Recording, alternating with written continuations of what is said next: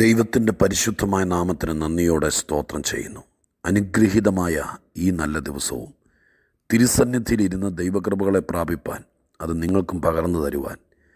ഇവിടുത്തെ അതിരാവിലെ സമയം ദൈവം എനിക്ക് കൃപ തന്നതോർത്ത് ഞാൻ ഒരിക്കൽ കൂടി എന്റെ വാഴ്ത്തപ്പെട്ട കർത്താവിനെ എന്റെ രക്ഷകനെ മനം നിറയെ സ്തുതിക്കുകയും പുകഴ്ത്തുകയും ചെയ്യുകയാണ്. ഒപ്പം എല്ലാ ദിവസവും ആത്മീക സന്ദേശത്തിന് വേണ്ടി കാതോർത്ത് വളരെ ആവലോടെ അഭിരുചിയോടെ ദൈവത്തിന്റെ വചനത്തിനായി സശ്രദ്ധം ദൈവസന്നിധിയിൽ കാത്തിരിക്കുന്ന എല്ലാ പ്രിയപ്പെട്ടവരെയും യേശുക്രിസ്തുവിന്റെ ധന്യമുള്ള നാമത്തിൽ വിനീതമായി സ്നേഹവന്ദനങ്ങൾ അറിയിക്കുകയും ചെയ്യുന്നു. വിവിധ സ്ഥലങ്ങളിൽ വിവിധ ടൈം സോണുകളിൽ വിവിധ പശ്ചാത്തലത്തിൽപ്പെട്ട പ്രിയപ്പെട്ടവർ ദൈവത്തിന്റെ സന്നിധാനത്തിൽ ഈ വചനങ്ങളാൽ ആത്മാവിൽ ധന്യരാകുകയും ദൈവത്തിന്റെ കൃപയാൽ ബലപ്പെടുകയും ശക്തീകരിക്കപ്പെടുകയും ഉള്ളത്തിന്റെ ഉള്ളിൽ കരുത്ത് പ്രാപിക്കുകയും ചെയ്യുന്നു എന്നറിയുന്നതിൽ വലിയ സന്തോഷം. അതിന്റെ എല്ലാ മഹത്വവും അത്യുന്നതനായ ദൈവത്തിന് തന്നെ അർപ്പിച്ചുകൊണ്ട് ഇന്നത്തെ ആത്മീക ചിന്തകൾക്ക് ഞാൻ ദീപം തെളിയിക്കുകയാണ്. വളരെ പ്രതീക്ഷയോടെ കർത്തൃസന്നിധിയിലായിരിക്കുമ്പോൾ പുതിയ നിയമ ചരിത്രത്തിൽ വിശേഷ കർത്താവായ യേശു ക്രിസ്തുവിന്റെ ഐഹിക ജീവിതകാല അത്ഭുത പ്രവർത്തികളിൽ ഏറ്റവും സുപരിചിതമായിരിക്കുന്ന അത്ഭുതങ്ങളിൽ ഒന്നാണ് എരിഹോവിലെ കുരുടന്റെ സൗഖ്യം. ഞാൻ ആ ഭാഗത്ത് നിന്ന് ചില കാര്യങ്ങൾ നിങ്ങളുമായി പങ്കുവെക്കേണ്ടതിന് വിശുദ്ധ മർക്കോസിന്റെ സുവിശേഷം പത്താം അധ്യായം നാൽപ്പത്തി ഒൻപത് അൻപത് വാക്യങ്ങൾ വായിക്കുകയാണ്. വിശുദ്ധ മർക്കോസിന്റെ സുവിശേഷം പത്താം അധ്യായം നാൽപ്പത്തി ഒൻപത് അൻപത് വാക്യങ്ങൾ. അവനെ വിളിപ്പീൻ എന്ന് പറഞ്ഞു. ധൈര്യപ്പെടുക എഴുന്നേൽക്കുക നിന്നെ വിളിക്കുന്നു എന്ന് അവർ പറഞ്ഞു. കുരുടനെ വിളിച്ചു. അവൻ തന്റെ പുതപ്പ് ഇട്ട് കളഞ്ഞ് ചാടി എഴുന്നേറ്റ് യേശുവിന്റെ അടുക്കൽ വന്നു. പരിചിത വേദഭാഗമാണ്. ഒത്തിരി പ്രസംഗങ്ങൾ പലരും കേട്ടിട്ടുണ്ടായിരിക്കാം. ബഹുമാനരായ കർത്തൃദാസന്മാർ ഈ ഭാഗത്ത് നിന്നൊക്കെ പ്രസംഗിച്ചിട്ടുണ്ടായിരിക്കാം.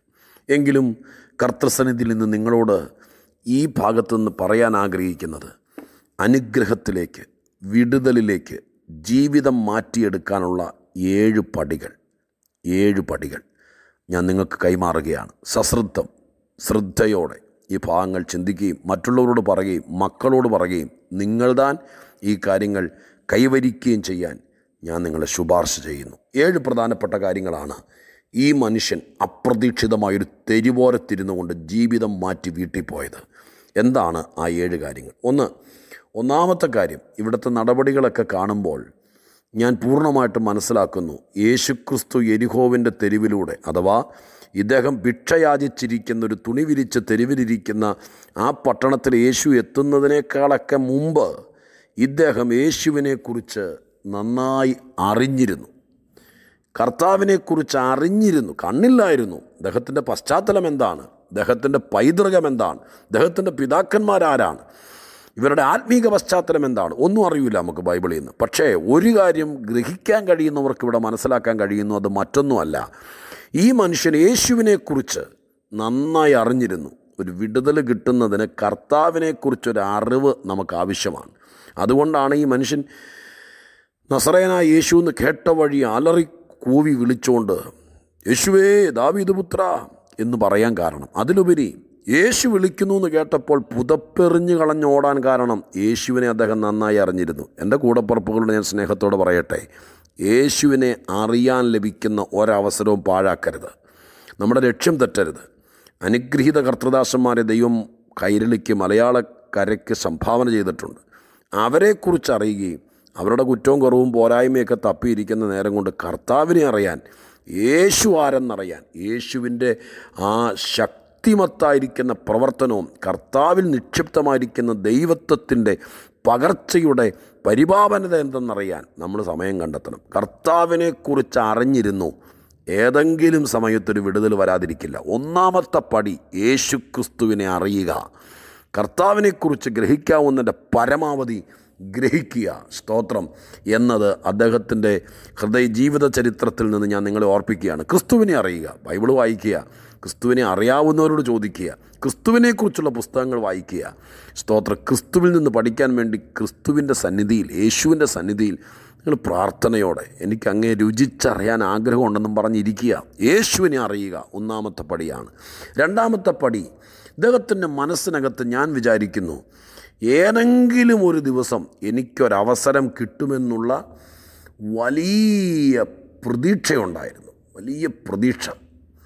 അല്ലെങ്കിൽ പെട്ടെന്ന് ഇങ്ങനെ പറഞ്ഞപ്പോഴേക്കും ചാടി എഴുന്നേറ്റ് ഓടിച്ചെല്ലാനും യേശുവെ ഉറക്കെ വിളിക്കാനും ഉള്ള സാധ്യതയുണ്ടോയെന്ന് അറിയില്ല യേശുവിനെക്കുറിച്ച് പലർക്കും അറിയാം. ഈ കൊറോണ കാലത്തൊക്കെ കർത്താവിന്റെ ശക്തിയും ബലവും അറിയാം. പക്ഷെ പ്രതീക്ഷയില്ല. യേശു രാജാവാണെന്നറിയാം യേശു സൗഖ്യദായകനാണെന്നറിയാം യേശു സകല രോഗങ്ങളെ സൗഖ്യമാക്കുമെന്നറിയാം യേശു ഒരു വാക്ക് കൽപ്പിച്ചാൽ എല്ലാം നടക്കുമെന്നറിയാം. അറിയാം. പക്ഷെ പ്രതീക്ഷയില്ല. രണ്ടാമത്തെ കാര്യം ഞാൻ നിങ്ങളെ ഓർപ്പിക്കട്ടെ. ഈ കുരുടനാണെങ്കിലും ഈ മനുഷ്യൻ ഓരോ നിമിഷവും പ്രതീക്ഷയിലാണ്. നിരാശപ്പെടുത്താൻ ഒരായിരം വിഷയങ്ങൾ കണ്ടേക്കാം പക്ഷെ പ്രതീക്ഷ മങ്ങരുത്. ഓരോ നിമിഷവും പ്രതീക്ഷയിലാണ്. എന്താ പ്രതീക്ഷിക്കുന്നത്? എന്നെങ്കിലും ദൈവത്തിന്റെ സന്നിധിയിൽ ഒരവസരം സ്തോത്രം കിട്ടാതിരിക്കില്ല. ഒരവസരം എന്നെങ്കിലും കിട്ടും. എനിക്കൊരവസരം ഉണ്ടാകും. എന്റെ കർത്താവ് നിമിത്തം എനിക്കൊരവസരം ഉണ്ടാകും. എന്റെ കുഞ്ഞുങ്ങൾക്കൊരവസരം ഉണ്ടാകും. എന്റെ ജീവിതത്തിൽ ഇന്ന് വരെ ആ ധന്യമായ അവസരം വന്നിട്ടില്ല. ഞാൻ ഒത്തിരി പ്രാർത്ഥിച്ചു ഉപവസിച്ചു. ഒരുപാട് പേരുടെ സന്ദേശം കേട്ടു. ഒത്തിരി പേരോട് എന്റെ ജീവിതം ഷെയർ ചെയ്തു. പക്ഷേ ആ നിർണായക അവസരം ഉണ്ടായിട്ടില്ല. സാരമില്ല ദൈവമക്കളെ. ഈ കുരുടനെ പോലെ പ്രതീക്ഷിക്കുക വിശ്വസിക്കുക ഒരവസരം ഏത് പാപിയാണെങ്കിലും നിനക്ക് രക്ഷപ്പെടാൻ നിനക്ക് ഉയർത്തപ്പെടാൻ ഏത് ശാപക്കെട്ടിന്റെ ചോട്ടി കിടക്കുന്ന ആളാണെങ്കിലും ദൈവത്തിന്റെ കരം നിനക്ക് നേരെ നീട്ടാൻ ഒരവസരം ആയുസിൽ തരാതിരിക്കില്ല ദൈവം. ആ അവസരം ഇതുവരെ വന്നിട്ടില്ല. അവസരം പാഴാക്കിയവരല്ല. എന്റെ പ്രിയപ്പെട്ടവർ എന്ന് വിചാരിക്കുന്നു പാഴാക്കരുതേ. ഒരവസരം ദൈവം വരുത്താതിരിക്കില്ല. ഭയങ്കര പ്രതീക്ഷ. എന്നെങ്കിലും അവൻ ഒന്ന് കാണാതിരിക്കില്ല എന്റെ പ്രാർത്ഥന കേൾക്കാതിരിക്കില്ല എന്നെ ഒന്ന് തൊടാതിരിക്കില്ല എന്റെ സ്ഥിതിക്ക് ഭേദം വരുത്താതിരിക്കില്ല എന്നുള്ള പ്രതീക്ഷ ഒളിമങ്ങാതെ കൊണ്ടു നടന്ന മനുഷ്യനായിരുന്നു. മൂന്ന് അങ്ങനെ കാത്തു കാത്തിരുന്ന മനുഷ്യന് ഇതേ ഒരു അവസരം കിട്ടുന്നു. കണ്ണ് കാണാൻ വയ്യ. അദ്ദേഹം ഭിക്ഷയച്ചിരിക്കുമ്പോൾ ഭയങ്കര ആളുകളുടെ വലിയ ആൾക്കൂട്ടത്തിന്റെ ശബ്ദവും കാൽപ്പെരുമാറ്റവും കേൾക്കുന്നു. എന്തോ നടക്കുന്നു എന്ന് മനസ്സിലായി. കണ്ണില്ലല്ലോ. പെട്ടെന്ന് ആരോടോ ചോദിച്ചു കാണാം. അദ്ദേഹം എന്താ എന്താ ഇവിടെ നടക്കുന്നത് എന്താ കാര്യം? ആരാ വന്നിരിക്കുന്നത് ഈ തെരുവിൽ ആരാ വന്നിരിക്കുന്ന എരിഹോവിൽ അപ്പോൾ ആരാ പറഞ്ഞു? നസ്രയനായ യേശു. നസ്രയനായ യേശു.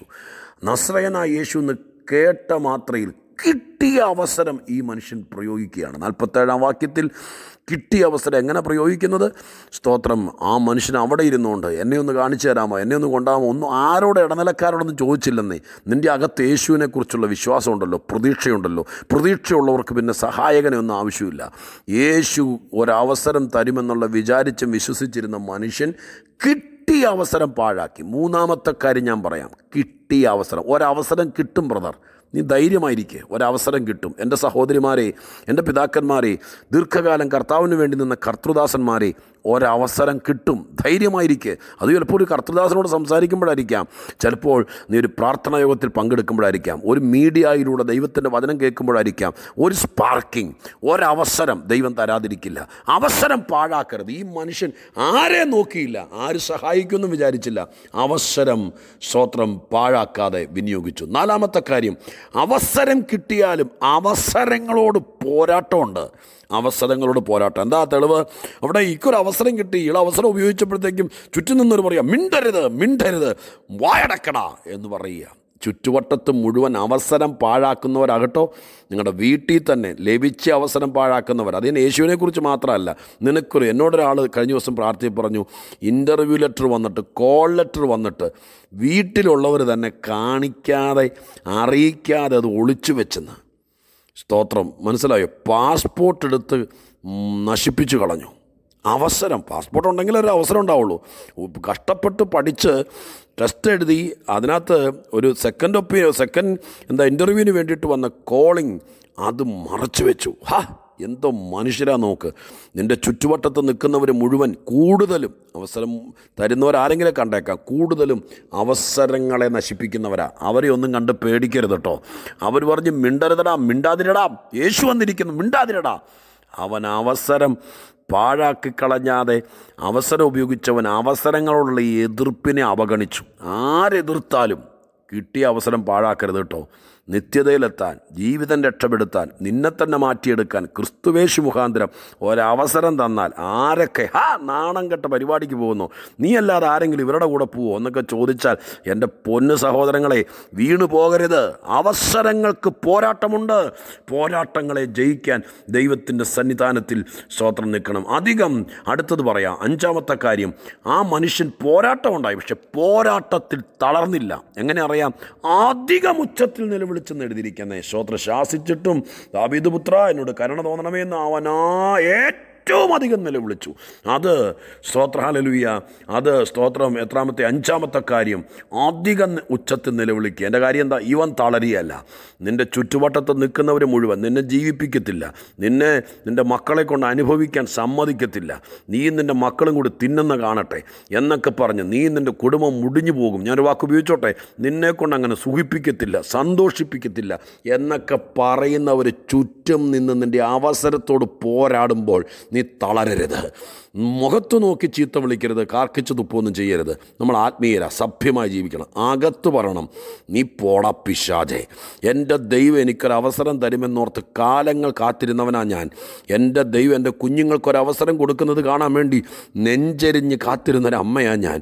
അതുകൊണ്ട് എനിക്ക് കിട്ടിയ അവസരം പാഴാകില്ല. നീ എത്ര തലകുത്തി നിന്നാലും കൊമ്പനാന തലകുലിക്ക് വരുന്നത് പോലെ എനിക്ക് നേരെ കൊല്ലൂ എന്ന് പറഞ്ഞു വന്നാലും എന്റെ കർത്താവ് എനിക്ക് ഒരുക്കി തരുന്ന അവസരത്തെ ഞാൻ പാഴാക്കില്ലെന്ന് മാത്രമല്ല നിന്റെ പോരാട്ടത്തിൽ ഞാൻ തളരില്ല. ഇത് അഞ്ചാമത്തെ കാര്യമാണ് തളരില്ല. സ്തോത്രഹാലലുയ്യ ആറാമത്തെ കാര്യം പറയാൻ കേട്ടോ. തളരരുത്. തളരാതെ നിൽക്കുന്നവർക്ക് വിളി പോരാട്ടം ഉണ്ടാവും അവസരങ്ങളുണ്ടാവും അവസരത്തോട് പോരാട്ടം ഉണ്ടാവും. പോരാട്ടത്തിൽ തളരാതെ നിൽക്കുന്നവർക്ക് അടുത്ത പടിയാണ് ആറാമത്തത്. വിളി വരും. കോൾ ലെറ്റർ വരും. ഞാൻ അങ്ങനെ തന്നെ പറയാം. വിളി വരും. അവസരം പ്രതീക്ഷിച്ചിരുന്നവന് അവസരം ദേ വരുന്നു. ആ തെരുവിൽ ആയിരം ആളുകളെങ്കിലും കാണുമെന്ന് വിചാരിച്ചോ? ആർക്കുമില്ലാത്തൊരു വിളി. യേശുവിനെക്കുറിച്ച് അറിഞ്ഞിരുന്നവന് എന്നെങ്കിലും ഒരു അവസരം കിട്ടുമെന്ന് വിചാരിച്ചിരുന്നവന് കിട്ടിയ അവസരം വിനിയോഗിച്ചവന് അവസരങ്ങളോട് പോരാട്ടമുണ്ടായിട്ടും സ്തോത്രം ആ പോരാട്ടത്തെ തരണം ചെയ്യത്തക്ക രീതിയിൽ തളരാതെ നിന്നവന് ആറാമത്തെ പടി സ്തോത്രം തളരാതിരുന്നാൽ വിളി വരും. അപ്പോൾ ആരോ വന്ന് ആ ആൾക്കൂട്ടത്തിനിടയിൽ കൂടെ ആരോ വന്നിട്ട് പറഞ്ഞു സ്തോത്രം ധൈര്യമായിരിക്കുക എഴുന്നേക്ക് യേശു നിന്നെ വിളിക്കുന്നു. വിളി വന്നാൽ ഹാലയിലൂയ ആറാമത്തെ കാര്യമാണ് യേശു നിന്നെ വിളിക്കുന്നു. സ്തോത്രം ഞാൻ നിങ്ങളോട് പറയാൻ പ്രിയപ്പെട്ടവരെ ധൈര്യമായിരിക്കാൻ പറയാൻ ഇന്ന് വരെ ആരും കാണുകയല്ല. എഴുന്നേക്കാം ചാവിട്ടി ഒതുക്കി മൂലെ പോയി ഇരടാ എന്ന് പറയാൻ ആളുണ്ടായി കാണുള്ളൂ പക്ഷെ ദൈവനോട് പറയുന്നു എഴുന്നേക്കാൻ പറയിപ്പിക്കുന്നൊരു ദിവസമുണ്ട്.